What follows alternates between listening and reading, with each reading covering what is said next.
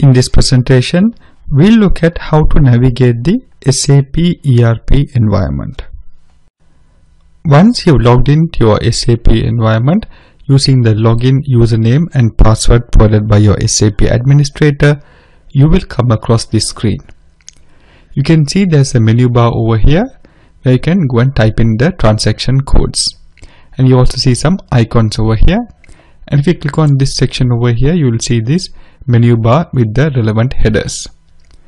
And here you see something called SAP Easy Access, which is your SAP Easy Access menu. You have a favorites folder, then you have many different subfolders.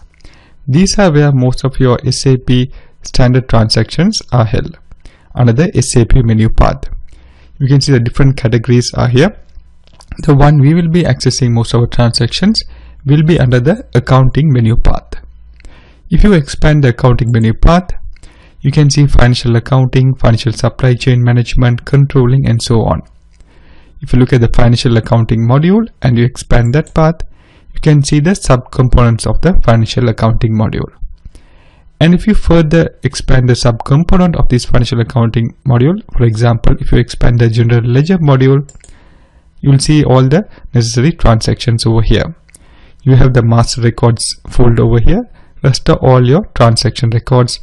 Information systems means the reporting side of the folder, which means you can access all the relevant reports.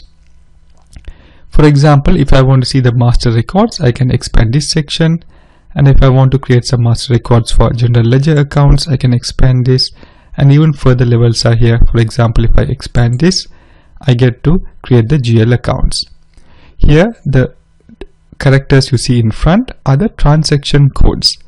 For example the transaction code here is FS00 the description here is to centrally create the GL accounts. So I can simply double click on this and it will take me to the transaction code here. And if I click on this icon which is a back icon it will take me back to the main screen now you can also enter the transaction code in this menu bar over here if you do not want to go through all this menu path and if you simply remember the transaction code you can just directly type in the transaction code here for example I can just type in FS00 and press enter and that will take me to the transaction screen. I can simply click on back and come back to the main screen over here.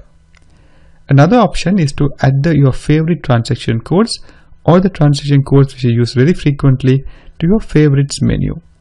So the simple way is to just right click on the transaction code over here and say add it to favorites. And you can see that comes up over here. Similarly, in the favorites menu also you can right click and click on insert transaction and here I can enter another transaction code probably I can write in this one FSP0 FSP0 just type that in press enter to continue and you can see now they are in the favorites. You can create folders inside your favorites to make it much easier for you.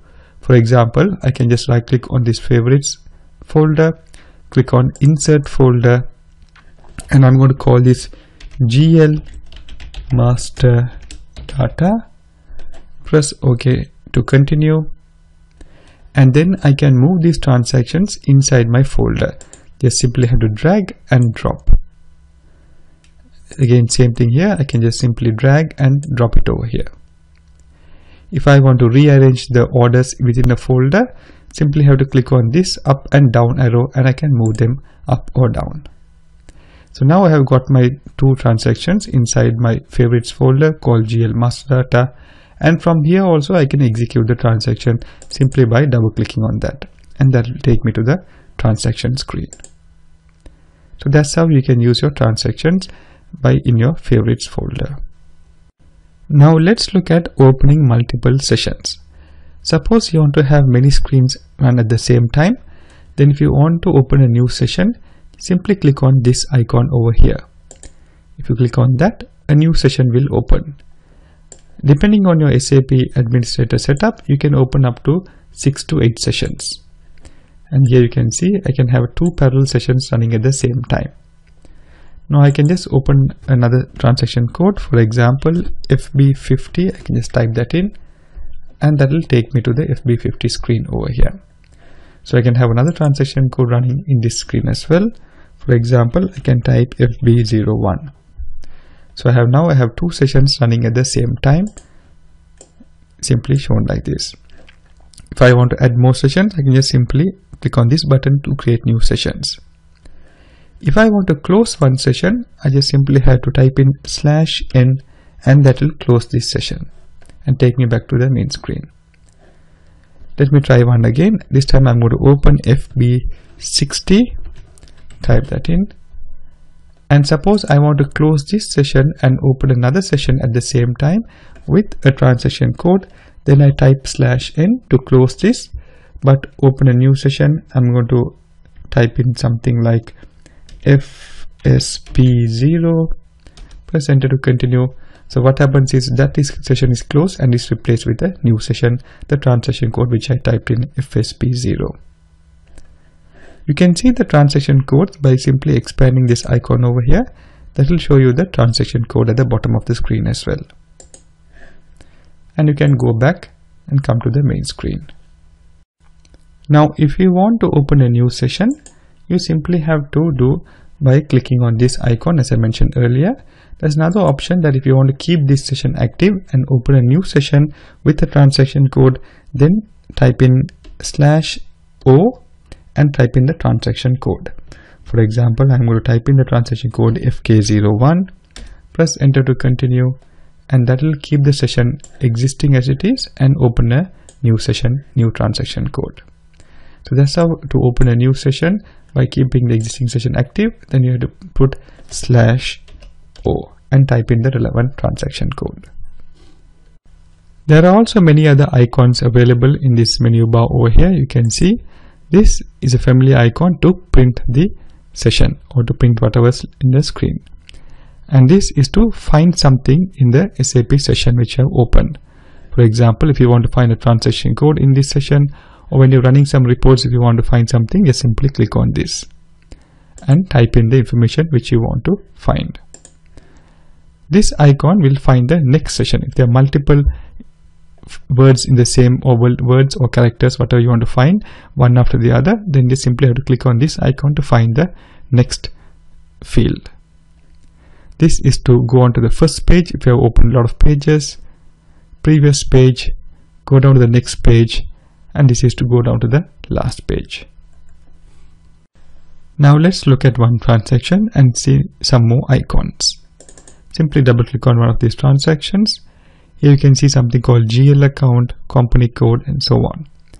Now if you would like to see more information with regard to this field now this says GL account. If you want to know more about the technical details for example which table this is coming from what is this field name then simply click on F1 in your keyboard. And that'll give a basic description. It says GL account number identifies GL account in chart of accounts. And if it's highlighted in blue you can simply click on that to find more information regarding that field. And that give you a definition of what is a chart of accounts. You can simply go back over here. And if you want to know the table name and the field name of this particular field then click on this icon which looks like a set of tools click on that and that will show you what is a table name. This is a long table name given over here. There are shorter table names also available but we are going just a bit more technical in. You simply want to know more information then you can go on to this section. And this gives you the field name of this as well. And you can close this transaction. You use the orange arrows over here to exit a transaction and the red circle with the X over here to cancel a transaction. So from this transaction, we saw that if you click on this, it will go back to the original screen or the main, the last screen. And if you click on this, you're going to exit the transaction. So let me just click on that and it takes me back to the main screen. And if you have typed in something and you want to cancel the, those entries, something like this, and you have done some entries for example i'm just going to type some information. And if i want to cancel all these entries then simply click on this icon to cancel the entries. And says data has been changed. Should the data to be should the changes to the data be saved click on no to cancel the entries. And then you can simply go back to the main screen. You can change some screen settings using this icon over here. Customize local layout simply click on that and click on options over here. You can increase or decrease your font size of how it looks like. Currently the font says Courier new font type with size 13 and proportional font settings are Tahoma with size 13 you can change this fix with font settings by simply clicking on select. And you can choose a different type of font if you require to do so and you can also increase or decrease the sizes. And if you're happy with your settings simply click on ok and that will be saved. Now for the settings to take effect you have to log out and log in back into the system again. Let's look at another setting which is available. Simply click on this icon again to customize a local layout. Click on options. And here you can even change the theme of the setting as well now this shows the activate animated focus. If you do not want any of these or show shadow border, you can simply untick them. You can also define your colors also by clicking on color settings and then simply click on colors in system and then you can see there are many different colors available. The default one is the blue layout over here, SAP signature default. You can also choose a different color as well. For example, if I want to choose gold, simply click on gold and you can see the color has been changed to gold theme. And click on OK and you'll apply the changes, log off and log in back again and the changes will take effect. If you have multiple sessions running and you want to log off all them at once, then simply type in slash nex and press enter in your keyboard and that will log off all the sessions at once. Then after you log in back to the system again, you can see the changes have been applied and the SAP environment is in gold theme. All the subsequent screens will also be the same color theme as well. And if you want to make the changes back again, just simply click on this, go to options, go to colors in system, and then you can change back to the default one by clicking on SAP signature default, press OK, and close the transaction and log in back again and we'll get back to your original screen. If you have typed in a few transaction codes in this menu bar and if you would like to go back to them and if you cannot recall simply click on this down arrow over here and that will give you your previously used transactions and from here you can just simply select the transaction which you want to execute and press enter to continue or click on this icon over here and that will take you back to the transaction code. And here you can specify the entries. If you want to select an example, a document date, then simply click on this icon over here and you can select a document date from the system by simply double clicking on an entry. If you want to see what are the available entries in the system, you can also click on F4 in your keyboard, that is your function key F4 in your keyboard and that will also will give you the list of all the available functionalities. For example, I am selecting in the currency section and you can see all the available currencies in the system and you can simply double click on any of those currencies to make the transaction. There are many more icons you will see across when you use SAP. Some are quite familiar. For example, this icon is quite universal, that is to save a transaction or to save a document or any type of saving transactions and once you are getting more and more familiar with the course you'll be going across many different type of icons and you'll become more comfortable in using SAP. So once you get your login username and password to your SAP environment, have a feel around playing around some entries in the system, type in a few transaction codes, add some favorites, create some favorite folders, and be familiar with the icons used in the SAP environment. It's quite easy and once you get more and more practice you will be able to recall all these icons very frequently